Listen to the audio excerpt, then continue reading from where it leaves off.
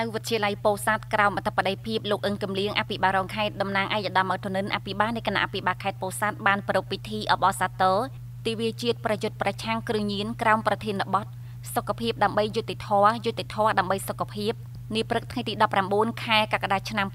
2019ដោយមានការអញ្ជើញចូលរួមពីលោករស្រីប្រធានអនុប្រធានមន្ទីរជំនាញខេត្តកងកម្លាំងប្រដាប់អាវុធទាំង3សម្ព័ន្ធយុវជនស្រឡាញ់សន្តិភាពម្ចាស់តំណាងផ្ទះសំណាក់ សន្តាគារក្លឹបកំសាន្តខារ៉ាអូខេភោជនីយដ្ឋានលោកគ្រូអ្នកគ្រូនិងសិស្សានុសិស្សសរុប600នាក់លោកហ៊ួនច័ន្ទវាសនាស្នងការរងខេត្តពោធិ៍សាត់នឹងទទួលផែនការប្រឆាំងគ្រឿងញៀនបានអានរបាយការណ៍ប្រចាំឆមាសទី1ឆ្នាំ2019ស្ដីពីលទ្ធផលអនុវត្តផែនការប្រយុទ្ធប្រឆាំងគ្រឿងញៀនខុសច្បាប់លើកទី4លទ្ធផលបង្ក្រាបបានរួមមាន105ករណីឃាត់ខ្លួនជនសង្ស័យចំនួន167នាក់ស្រី15នាក់ ចាប់យកគ្រឿងញៀនមេតាំហ្វេតាមីន ICE ចំនួន319កញ្ចប់តូច និងមួយកញ្ចប់ធំទម្ងន់សរុប35562ក្រាមជញ្ជីងសម្រាប់ថ្លឹងគ្រឿងញៀនចំនួន2គ្រឿងសម្ភារៈសម្រាប់ជក់សេពគ្រឿងញៀនចំនួន32កំភ្លេម៉ូតូចំនួន15គ្រឿងទូរស័ព្ទចំនួន58គ្រឿងដៃកេះចំនួន56កន្ត្រៃចំនួន1កាំភ្លើងស្នប់ចំនួន1ដើមកាំបិតចំនួន3ដើមដាវចំនួន10ដើមកាបូបលុយចំនួន7 ប្រាក់រៀលចំនួន868,000រៀល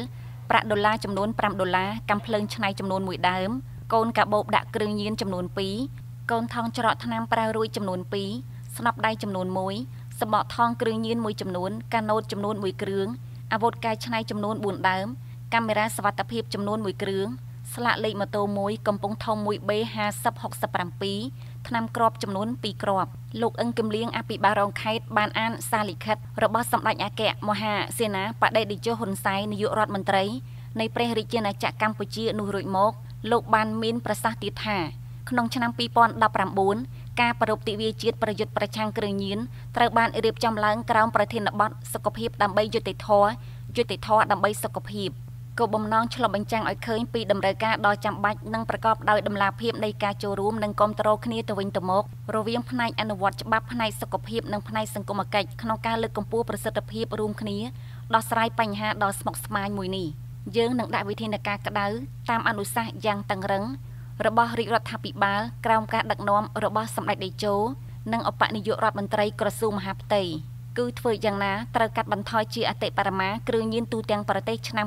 2019នេះជាជំហានទី4ដើម្បីឆ្លើយតបទៅនឹងថ្នាក់ដឹកនាំខេត្តនិងថ្នាក់ជាតិបានដាក់ចេញមកលោកបានបន្តទៀតថា